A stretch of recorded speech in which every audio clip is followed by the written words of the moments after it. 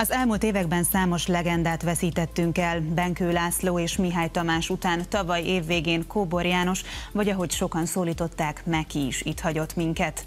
Potolhatatlan veszteségként éli ezt meg a közönség, a családtagok, a barátok és a pályatársak is.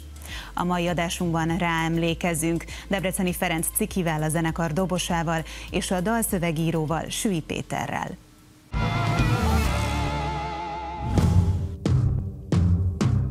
Kossuth és Liszt Ferenc díjas magyar énekes. Az Omega frontembere. A középiskolában alapította meg első zenekarát, amelyben ő volt a ritmusgitáros. Majd 1962-ben megalakult az Omega együttes. Lámpa.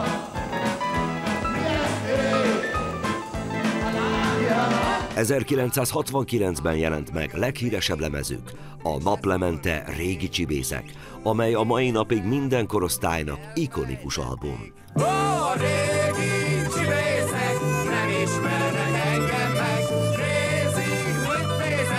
aztán tovább mennek. Meki egyedi előadásmódja sokakat emlékeztetett Mick Jaggerre.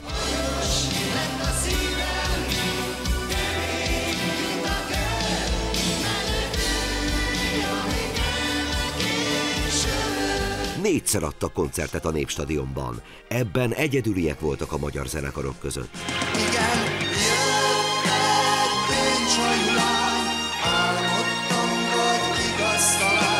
Egy legenda, aki utat tört a magyar rockzenének, és aki rengeteg előadót inspirált és terelt a zenei pályára. a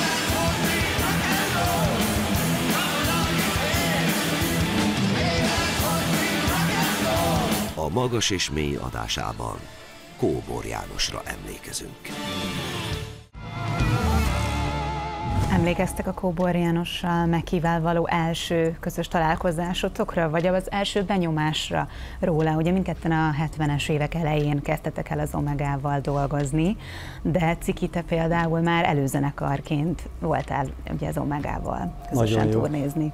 Nagyon jól tudod, igen, így, így tudtam volna kezdeni, ahogy bevezettél, már másik zenekarral, a Neotonnal voltunk közösen az Omegával, mint előzenekar, és ott találkoztunk közvetlen személyesen, és hát volt egy hosszú 65 koncertes turné, ami alatt aztán bőven volt időnk egymást megismerni, és hát együtt mozogtunk, együtt utaztunk, jól éreztük magunkat már akkor is. Mi vagyunk a két utolsó igazolás az Omegánál, azt hiszem. Én nem emlékszem az első találkozásra. Én a Molnár Gyurinak osztálytársa barátja, függvénye, kapcsolt része voltam akkoriban, tehát nekem nagyon rajta keresztül jelentett az Omega egy valamit.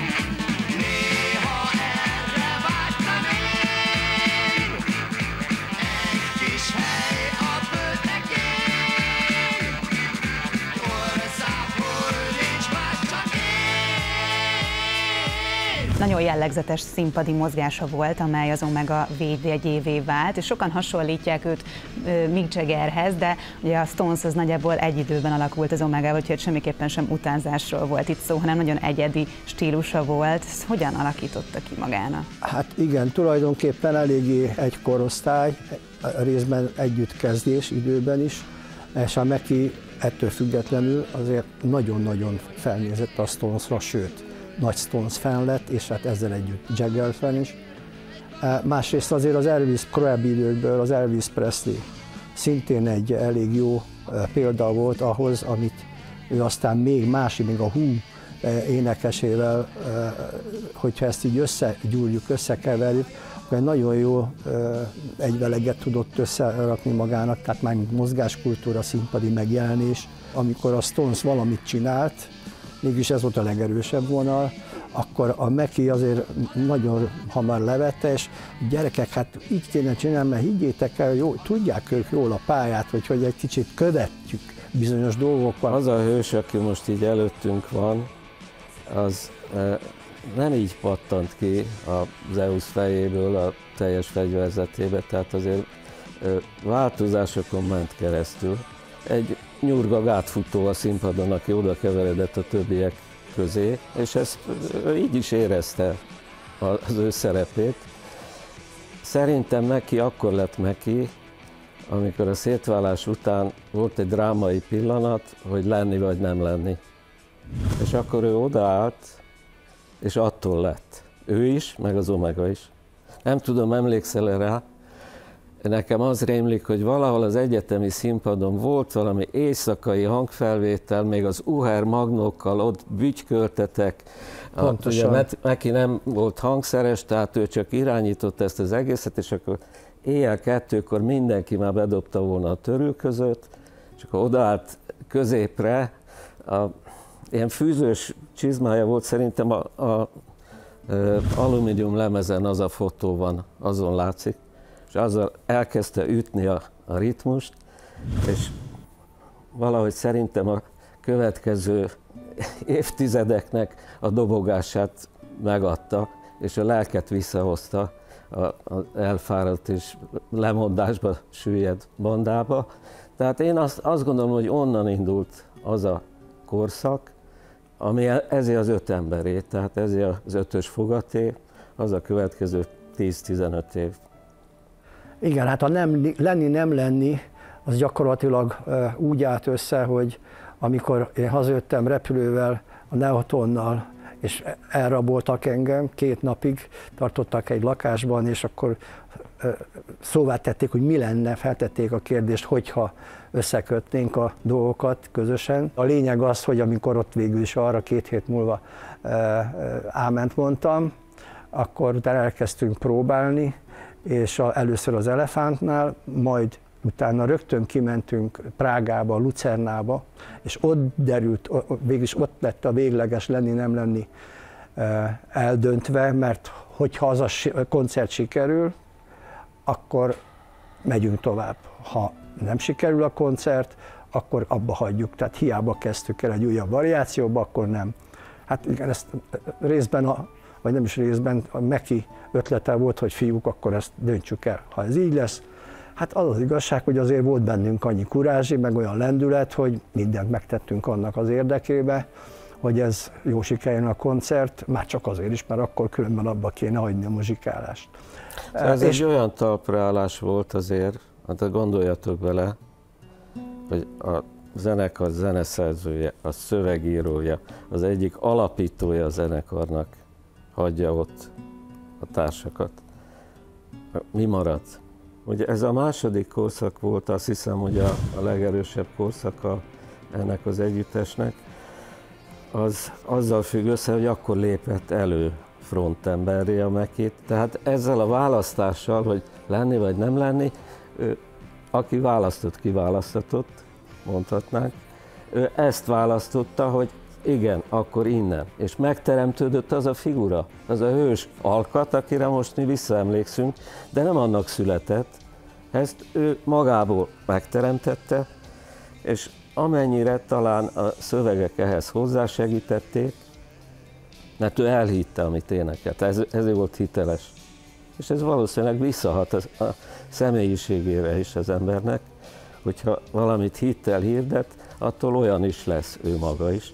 Tehát ez a, ez a kettőség alakíthatta ki azt a figurát, azt a szemét, akit hát ideálként fogadtak a, a rajongók a színpad elől, és így emlékeznek ma is rá.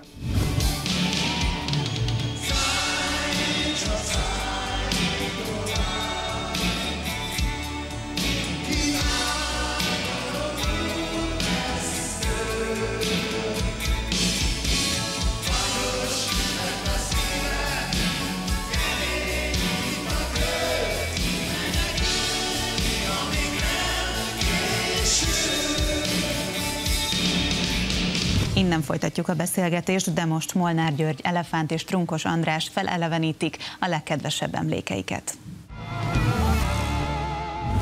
Alapjában véve egy egy vidám fickó volt, aki, aki egy, szeretett azért lincselkedni a világgal velünk is, meg hát aki ezt nem vette észre, az, az borul járt.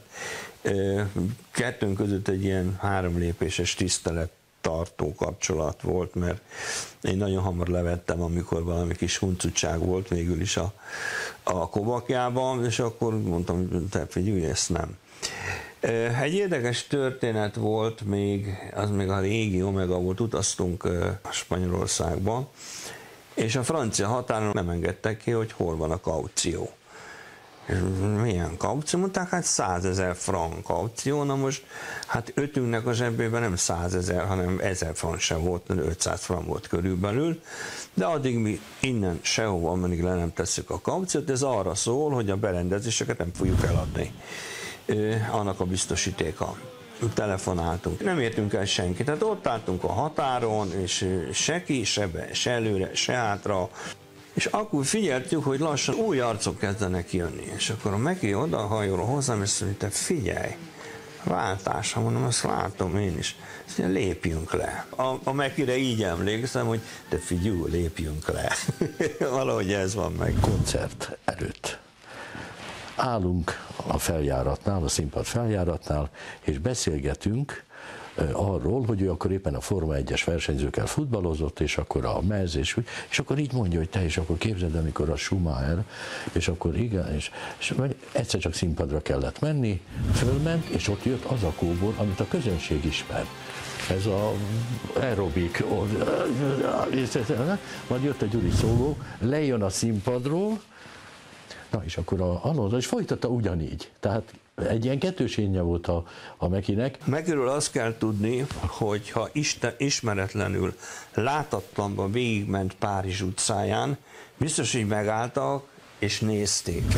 Tehát egyszerűen az egész alkot ez a vékony, egy picit feminin mozgású, nagyon hosszú, nagyon, nagyon szőke, szőke, igen, a kobornak van egy, egy, egy egyénisége, egy, egy vonzás, egy ilyen attraktív vonzás, ami által oda kell nézni, rá kell figyelni, nézni kell. Ez a meki.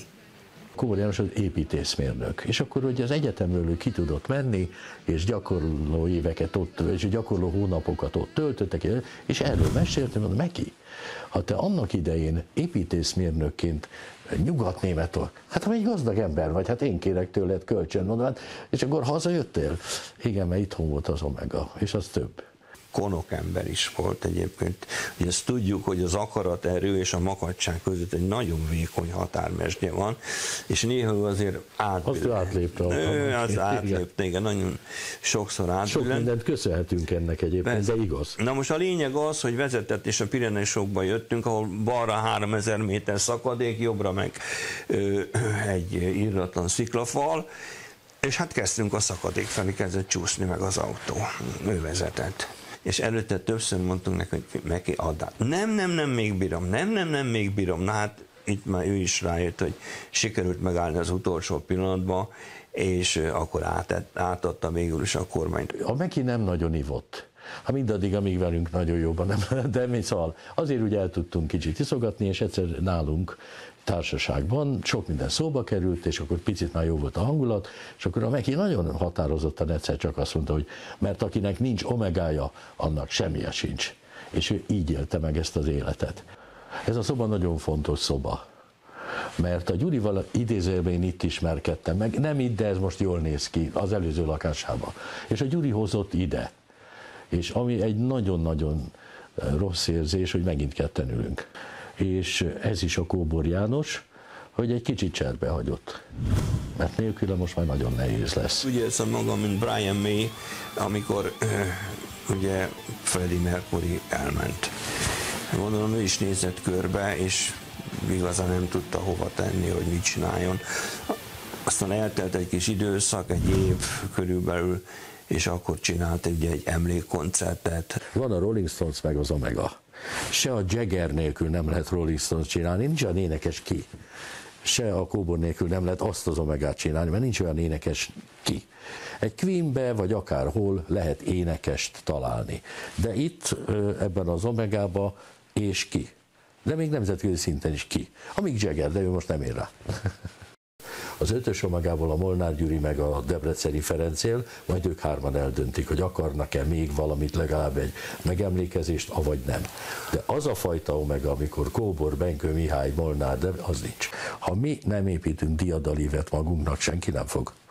Mi meg most a Gyurival, meg a Cikivel nekiállunk és megpróbáljuk ezt a, ezt a kis ívecskét, ha lehet, hogy legalább még egy pár évig emlékezzenek az Omegára, mert, mert annyi, annyi minimum benne van, és annyit megérdemel a zenekar. Péter, te vagy a legfontosabb szövegírója a zenekarnak, ugye 70-es évek óta dolgoztatok együtt. Mennyire határozta meg Kobor János személyisége a szövegvilágot? Ugye úgy fogalmaztál az előbb, hogy neki elhitte, amit énekel, tehát magáénak érezte. Mert egy nagyon intelligens ember volt. Én nem, nem mondhatom azt, hogy ezek belőle fakadtak volna, amiket aztán utána évtizedekig énekelt, de a magáévá tudta tenni, mert érzékelte, hogy, hogy valami van, amire ő, ő rá tudott ő, fókuszálni. Tehát ezek nem voltak korszerű szövegek. A sajátjaimról beszélek, nem voltak korszerű szövegek. Tehát ha nézzük azt a kort, akkor annak a popkultúrája nem e felé mozdult hát el. A... Nem volt divatos ez, amit mi csináltunk. Tehát tulajdonképpen ő fölvállalta ezt, mert érezte, hogy valami van, még hogyha nem is biztos, hogy ez nyerő lesz, de valami van benne, próbáljuk meg, és megcsinálta, és azonosult vele. És nem akkor jött be, akkor a zenétek jött be. 30 év múlva, amikor ezeken a találkozókon azokkal a az idős emberekkel találkozom, akik akkor ott csápoltak a színpad előtt, és azt mondják, hogy nem értettük, de, de, de most egész életünkben motoszkált bennünk, amit ott hallottunk, és lehet, hogy most se értjük, de valahol az életünkben adott egy, egy iránymutatást, vagy, vagy valami támaszt. vesztett rózsapár,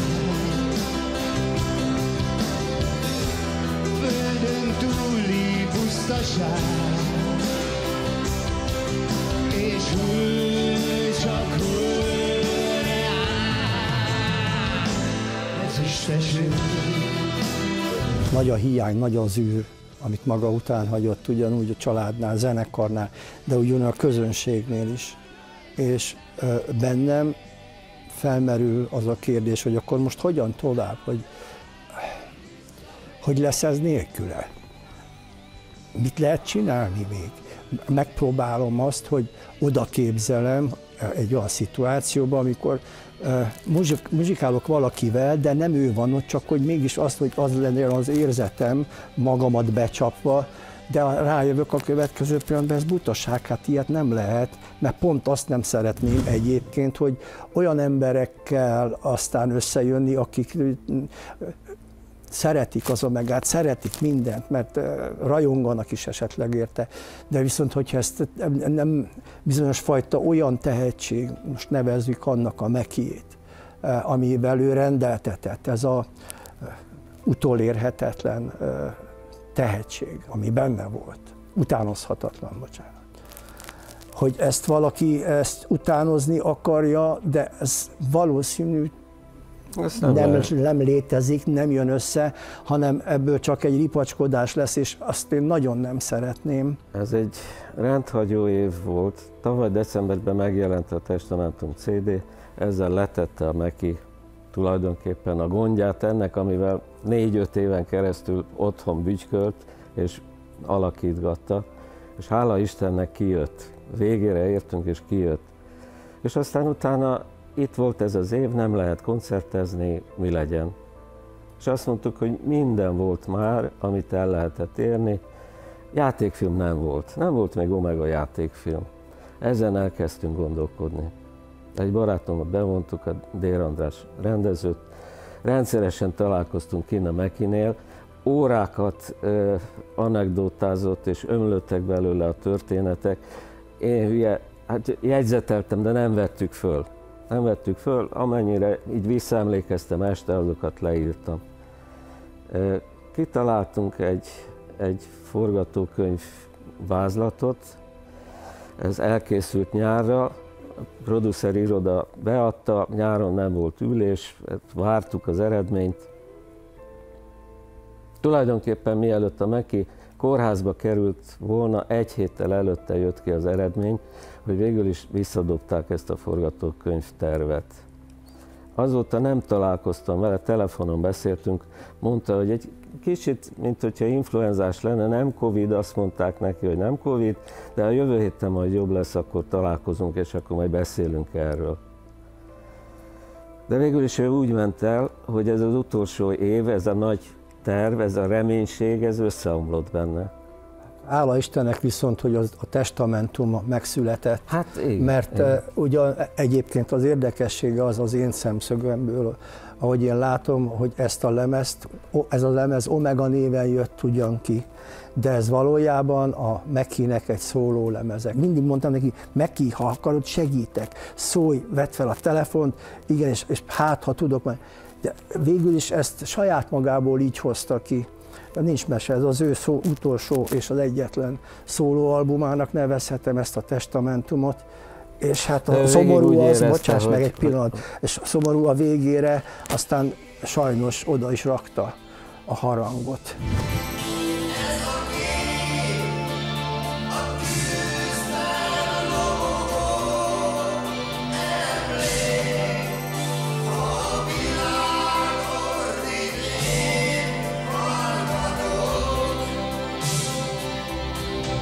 Péter, hogyan zajlottak a Testamentum című lemeznek a munkálatai közösen?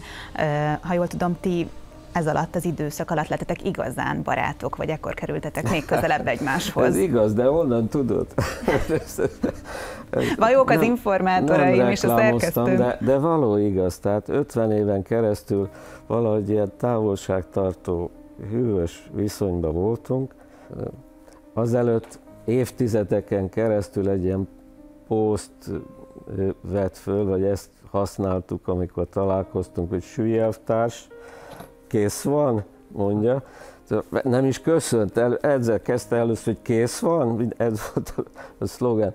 Hát ez egy, ez egy fölvett ilyen szerepjáték, egy ilyen ironikus szerep, ami a, a személyes ö, közelséget azért úgy el, el, eltartotta, tehát hogy ebből nem léptünk ki. Most ehhez képest az utolsó időben mondom, nagyon, nagyon jó időket töltöttünk együtt.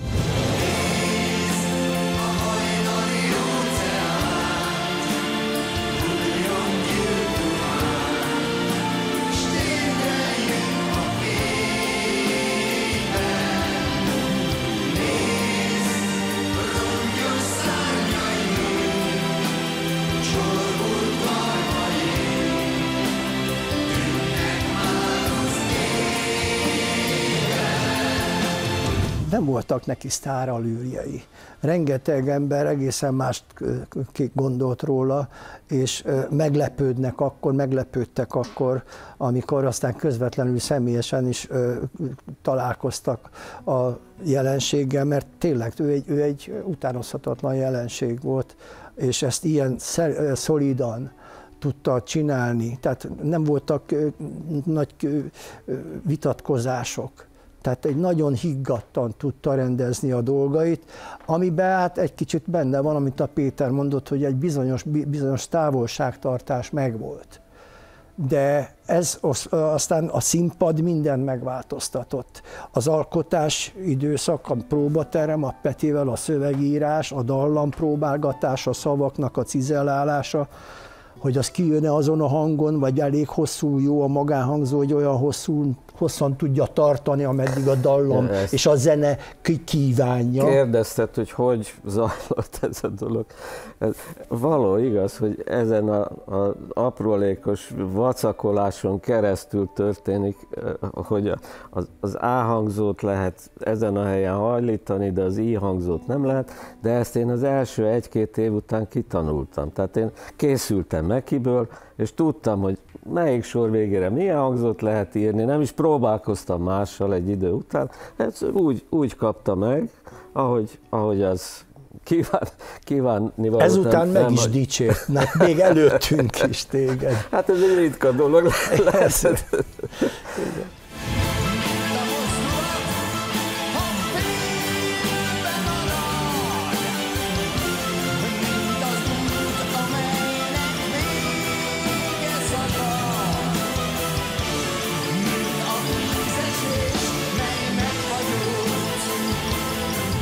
Tudom, ha most megkérdezhetnénk tőle, hogy azt választaná vajon, hogy ereje fogytán szépen lassan kívánna elmenni, vagy úgy, amikor még így tudunk rá emlékezni ebben a, ebben a formájában, ebben a hősi formában.